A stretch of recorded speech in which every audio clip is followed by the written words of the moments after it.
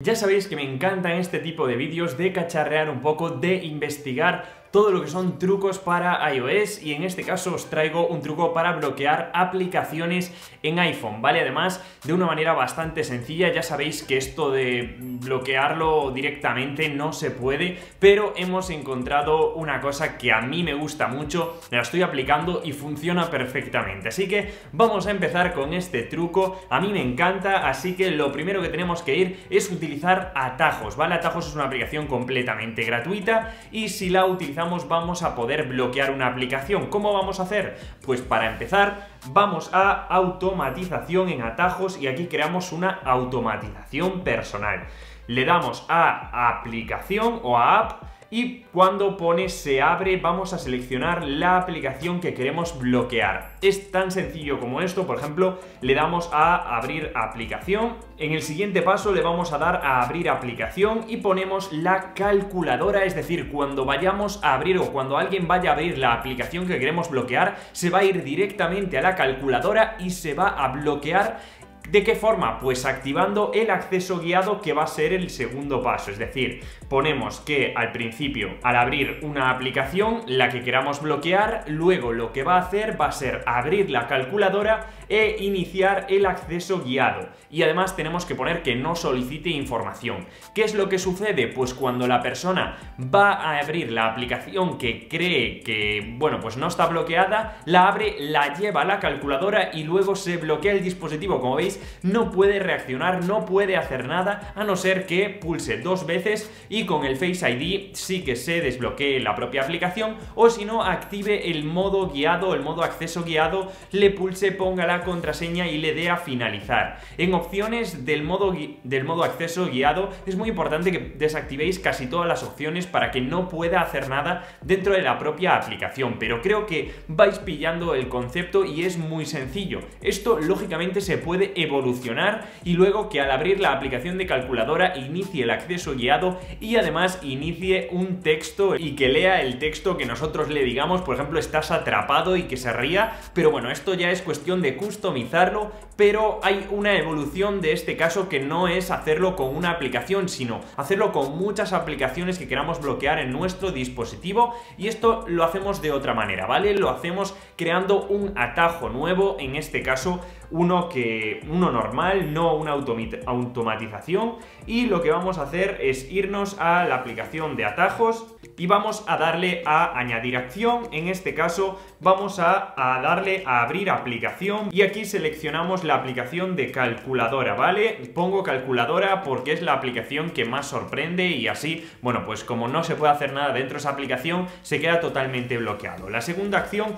va a ser iniciar el modo guiado iniciar acceso guiado, siempre digo modo guiado, no sé por qué, y ya le damos a siguiente, ¿vale? Ponemos el nombre del atajo, por ejemplo, bloquear aplicación y elegimos el icono que nosotros más nos guste, ¿vale? Este es el primer paso. Ahora el segundo vamos a crear ahora sí ya una automatización y en este caso en la propia, automatización vamos a pulsar sobre aplicación cuando se abre y además en esta aplicación vamos a abrir las que queramos bloquear. Pueden ser dos, tres, cuatro, las que nosotros queramos porque esto es lo bueno, ¿vale? Por ejemplo elegimos algunas y ya vamos a ir al siguiente paso que va a ser ejecutar el atajo que hemos puesto previamente. De esta manera cuando la persona, acordaos de darle a no solicitar confirmación y ya cuando la persona intente abrir alguna de estas aplicaciones, da igual cual, se va a ejecutar este atajo que es abrir la calculadora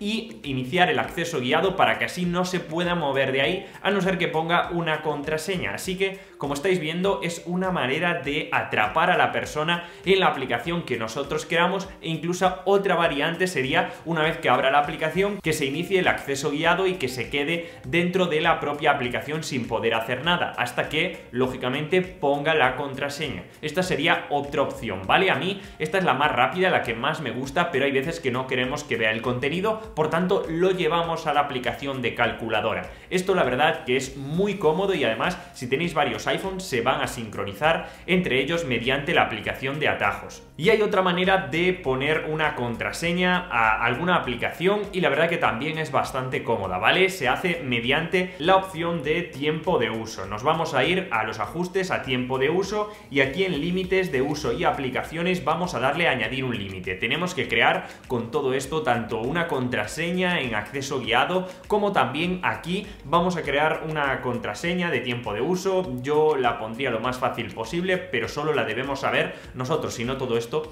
pues no tiene sentido, ¿vale? Así que una vez la ponemos vamos a bloquear las aplicaciones que nosotros queramos. Por ejemplo, imaginaos que quiero bloquear eh, pues esta de aquí, ¿vale? Pues simplemente la selecciono, le doy a siguiente y voy a poner un minuto, ¿vale? Esto lo hacemos porque una vez salgamos probablemente ya se esté bloqueada, que solo la puedo utilizar durante un minuto y aquí abajo nos aseguramos que ponga bloquear al alcanzar el límite y le damos a añadir durante todos los días, ¿vale? Pues si nos salimos puede que ya esté bloqueada, pero si no está bloqueada, chicos, es importante que pues eh, os vayáis a la propia aplicación, estéis durante un minuto o más y ya estaría, ¿vale? Ya se bloquea y la única manera de salir de aquí sería poniendo el código que nos pone de tiempo de uso. Puede ser diferente al que teníamos en acceso guiado, así que esto depende de vosotros. Este sería otra forma de bloquear aplicaciones en iPhone, pero hay una tercera que a mí me parece la mejor, pero no está disponible para todas las aplicaciones.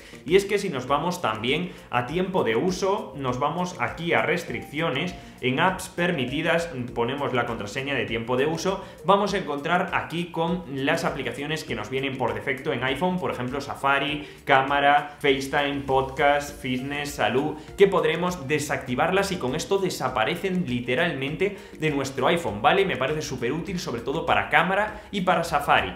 No son aplicaciones de las que más queramos bloquear, sino que serían más bien fotos, pero bueno, aún así es súper interesante que podamos también bloquear estas aplicaciones directamente, quitarlas de nuestro iPhone, de nuestra pantalla principal. Así que espero que os haya gustado, ha sido un vídeo bastante bastante cortito, pero bueno, he intentado explicaros todas las formas que actualmente en el 2021 existen para bloquear aplicaciones en iPhone. Ya sabéis que no se puede, si no tenemos cosas raras, eh, bloquear una aplicación directamente con Face ID, como si se puede al entrar a WhatsApp, por ejemplo, o cuando entramos a aplicaciones de nuestro banco. Pero de esta manera es una forma que tenemos de hacerla súper rápida y espero que os haya gustado. Dejadme en los comentarios si os ha funcionado, cuál de todas estas formas os gusta más que la verdad yo seguiré investigando por hacerlo un poquito más sencillo. Así que espero os haya gustado, nos vemos en el siguiente vídeo, chicos. ¡Chao! A ver si eres capaz de ver una foto mía. Vale. ¿Qué? A ver, a ver, vuelve atrás. A ver. ¿Por qué no se ¿Por qué no van los números? Fotos, aquí.